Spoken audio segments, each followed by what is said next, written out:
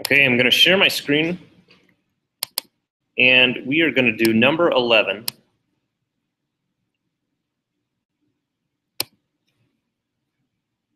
together because a lot of people are having a tough time.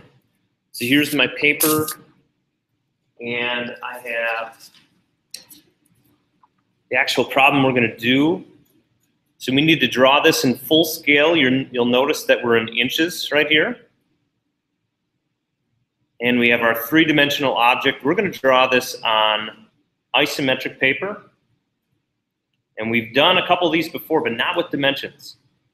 So the first line that I'm going to be drawing is this width of the object. In order to, for me to get the right width of the object, I need to take a look at my dimensions. And on my paper, I'm going to make sure that I have a top, a front, and a right side view. So in order for me to do that, I'm going to draw my first line 2.75 inches long, or 2 and 3 quarters inches. And I'm going to draw it in this direction so that I can get a nice right side view later on. So let me go to my paper. I'm looking at, I'm going to start at, start, start about right here. Notice my ruler does has a zero mark on it. Here's zero. So I need to start and end all my lines there. And the first line I'm going to draw is going to be in this direction, parallel with the lines in my page. And I'm going to make it 2.75, so I'm going to start at 2.75 right here and go to zero. So there's my first line. I'm just going to make it a little bit darker so you guys can see. And there I have my first line two and three quarter inches long. The next lines I'm going to do, I'm going to draw my depth right away. And I know my depth to be 0.5 inches or 1 half inch. And I'm going to make sure that that's going in the correct direction. So I'm going to need to turn my paper here just a little bit. But notice how I line up my ruler. My depth is going to be in this direction, meaning it's going to be parallel with the lines around it. Because I don't end on a line, I end kind of right in the middle of one, right in the middle of this line and that line right there. When I line my ruler up, I need to make sure that my ruler is then parallel with the lines around it. So I know that I'm parallel to this line back here as well as up here. So I have a half inch line to draw. I'm going to start at half inch and go back to zero. So there I have my depth done. The next lines I'm going to do is my height. I'm going to do both lines, this one and this one. I know how tall those are because if I go all the way over here, I can see that they are one inch tall. So I'm going to line my ruler up vertically with the paper and parallel to the vertical lines on the page. I'm going to line it up at one inch, leaving a little room for my pencil, and I'm going to go up to zero. I'm going to do that here, as well as right here. This is where it's really important to make sure that my ruler is lined up correctly, parallel with the vertical lines on my page. So I almost ended a line here. What I'm going to do is just eyeball the line that comes over. And there I have one side of my drawing already. So I have this base drawn, I have the depth drawn, and then I did two lines of my height, and then I eyeballed this line in right there. So the next ones I'm going to do is this little platform. This little platform is one inch wide. I know that because I have my I have my units right up on top. And so I'm going to draw two lines that both inch long there and there. Our width, again, goes across the paper in this direction, same as our baseline. So I'm going to line my ruler up at one inch, making sure it's parallel with the lines around it that are drawn on the page. I'm going to go from one inch to zero. Same thing right over here, lining up. one inch, and then making sure my ruler is parallel with the lines on the page. And then again, I'm gonna just eyeball that half inch depth line. So here we have this face done, this face done. The next little one I'm gonna do is right here.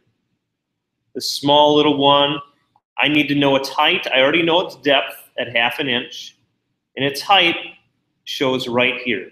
These little lines come on over and they tell me my height is 0.25 inches or a quarter of an inch.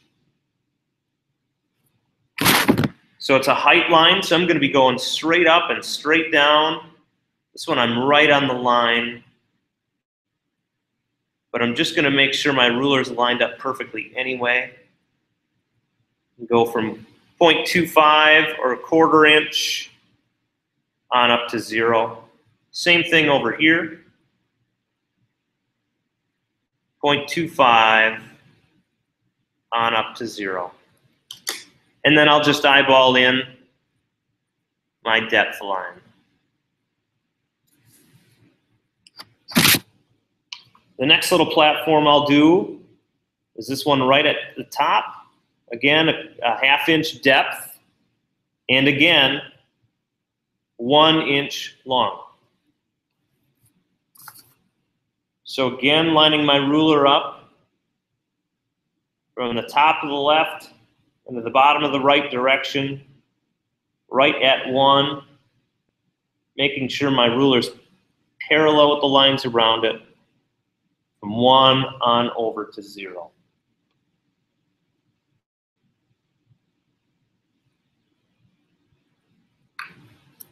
And again, I'm just going to eyeball this one in there.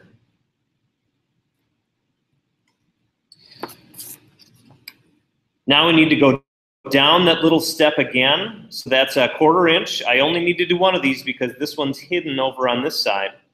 So I just need to do one, and then I'm gonna go the rest of the way over and the rest of the way down. I'm just gonna square it off. So I'm gonna do these lines right here. This one's a quarter inch. This one, if we look, we had 2.75 on the bottom. We went over one inch over another inch. So we only have 0.75 left. So I'm going to go down quarter inch over three quarters of an inch. 0.75 is equal to three quarters. My vertical lines line up with the vertical lines on my paper. So I'm going to start at zero this time, lining my ruler up and going down to a quarter of an inch. And then I'm going to go over 0.75 of an inch. Again, that was the rest of our base, and we should line up perfectly, and it looks like we do. I'm just going to eyeball this in nice and light right there. So you can see our shape is, is starting to come up. Um, I'm going to put in my depth line, which was half an inch right here, but I'm just going to make it really light because we have this little rounded edge that we're going to make right in here. And so I'm going to end up erasing this one. That's okay. I just want something to reference. I'm also going to make sure that my line in, my, that my lines in back line up. So my back should line up from the from the right side here to the left side. So I don't even need to measure that out. But again, I'm going to make those really, really light. The next things we need to do, make sure we have these two circles drawn, one right here, and then I have a quarter round. We call that a quarter round circle over here because the rest of the circle, three quarters of it, is gone. So what I'm going to do is locate the center of this circle first because I can't start to draw it if I don't locate where it is first. So where I find it is 1.25 inches from this left-hand side, and then 0.75, three quarters of an inch up. So I'm going to do this 0.75 first, show you guys how I go about doing that. I'm going to make a mark, 0.75 here, I'm going to make a mark over here, and then I'm going to draw a faint construction line. So I have making sure my ruler is parallel with the lines in the page. I'm going to make a mark at 0 after lining up to 0.75. And again, I'm going to make a mark at 0 after lining up with 0.75. From here, I'm going to line up my ruler with the two marks I made and draw a faint line across. I draw it faintly because it's not going to be part of our object, but it helps us locate the center of our circle.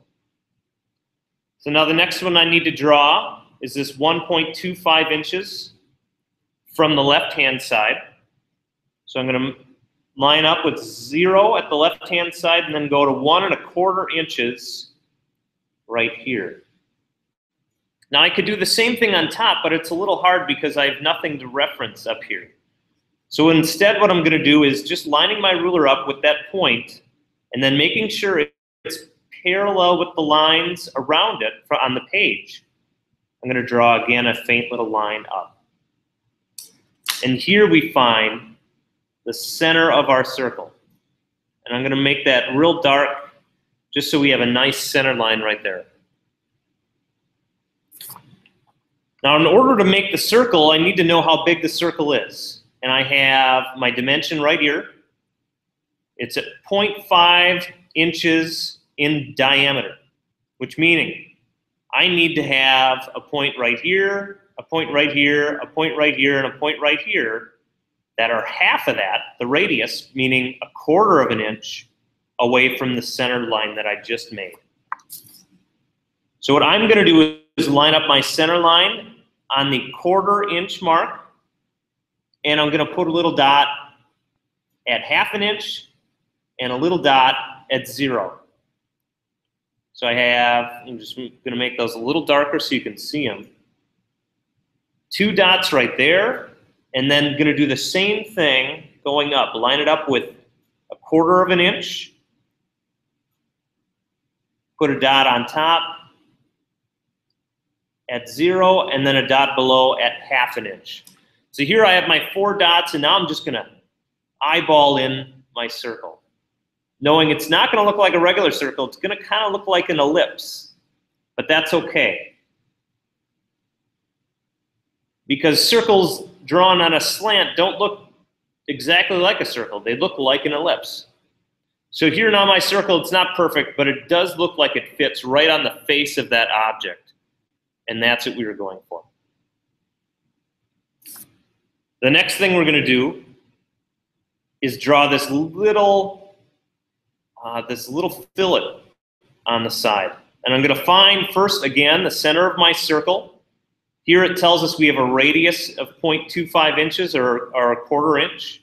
Same thing as a diameter of 0.5 inches. So notice uh, this line right here and this line right here are tangent to my circle so that my circle does not come back around, but it is cut off at, this, at, at these spots. So up from the center is 0.25 inches, or that same three quarter inch line that we drew from our bottom from before. And then again, we have a quarter inch over from the left-hand side that we're gonna have to measure out ourselves.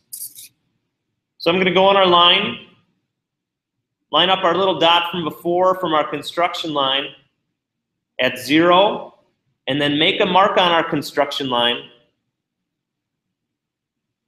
at 0.25 inches, and there I just got the center of my circle.